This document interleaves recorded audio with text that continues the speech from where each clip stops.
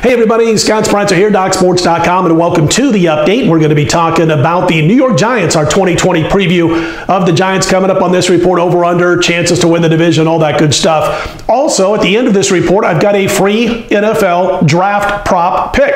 Uh, so that's all coming up on this report. First, a real quick note if you've yet to become a member over at DocSports.com, just want to give it a trial run, click on the link below the video, get set up for a free $60 account if you wish. You can use those free 60 bucks on any of my daily packages packages or any other capper at DocSports.com. Coming up another nice Saturday. We swept Saturday.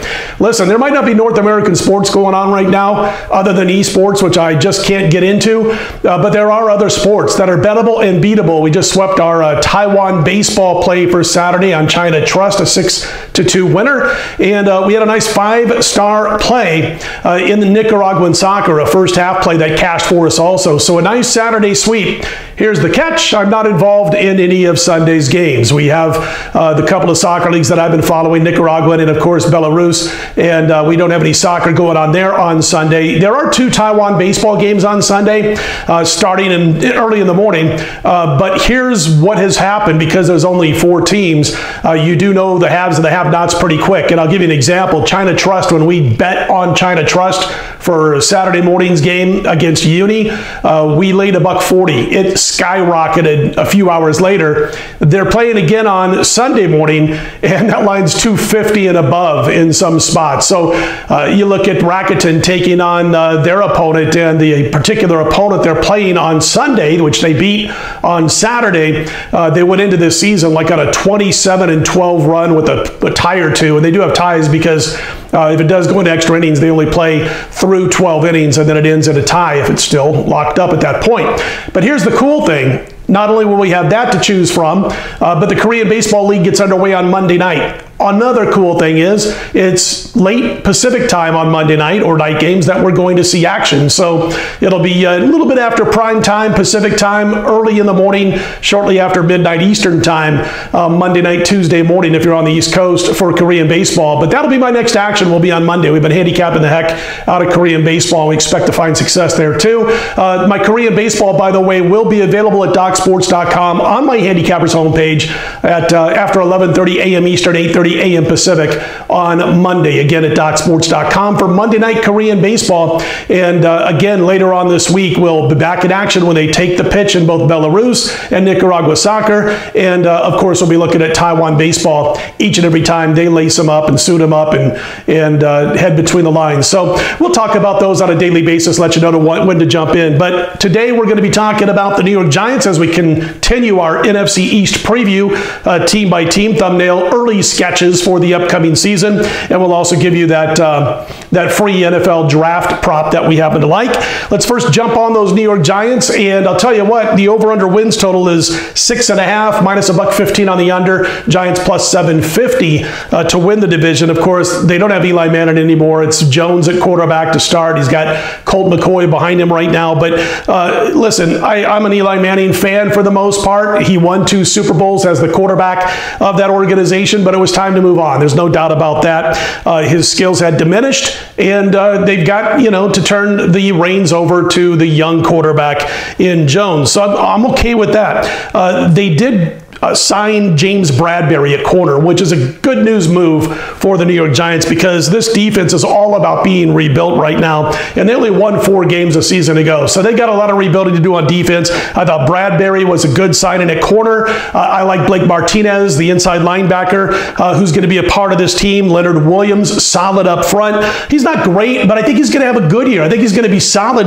in uh, Patrick Graham's 34 scheme. Patrick Graham is going to be calling the shots for the Giants defense defense. The offense has the potential to show improvement in 2020. Should be good on the ground. You got Jones, you know, basically the guy now. Uh, and of course, you've got an offensive line that, that ought to be a little bit better and decent. Well, I wouldn't say overwhelmingly decent receivers, but a better crew uh, than they had over the last four or five years for the most part. The biggest problem for the Giants, besides the fact that they are rebuilding on defense, uh, is their strength of schedule. If you've watched my other NFL individual team videos, you've seen that I do rate upcoming season schedules based on what the book said their opponent's wins totals are going to be or have posted, uh, not necessarily on what the teams did a year before. I think that's wacky to do that if you're talking about the NFL.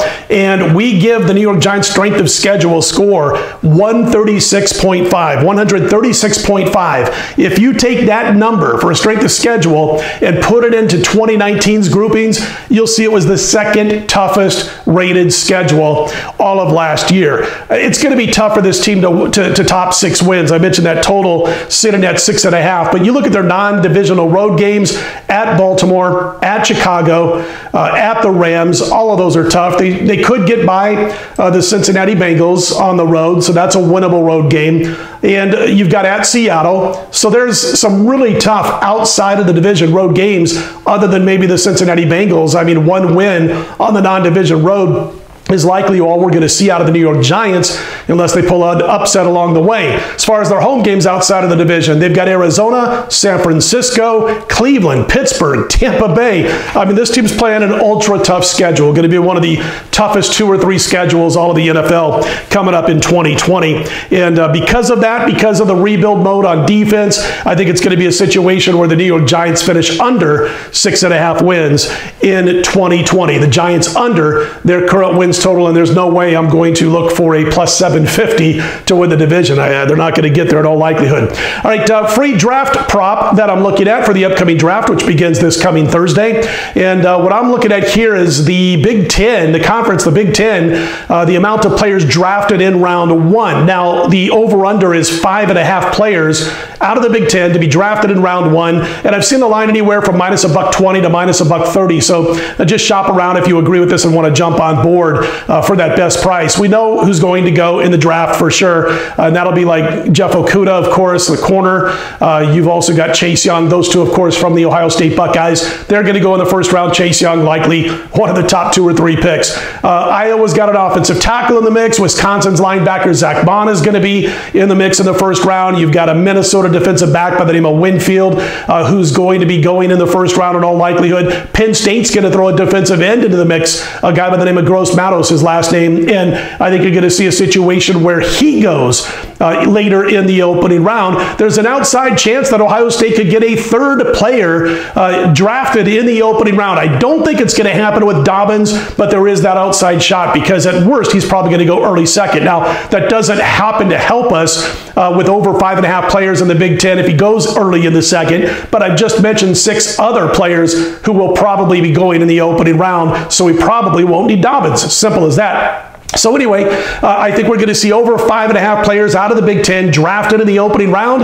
Again, it's a small favorite, $1.20 to $1.30 or thereabouts. That's our free prop on this report. So that prop plus under six and a half wins on the New York Giants for the upcoming 2020 campaign. Don't forget, we're not in action in Chinese baseball, Taiwan baseball on Sunday, uh, but we will be back in action with Monday Korean baseball. I'll do a video by then to let you know about it. Like no later than 5 a.m. Eastern, 2 a.m. Pacific on Monday when I post that particular video, along with another, our next NFC East uh, team that we're going to do a thumbnail preview on. So there you go. That's our report for Sunday. Hope you like it. If you do, click on that thumbs up button and be sure to subscribe. I'm Scott Spreitzer, DocSports.com.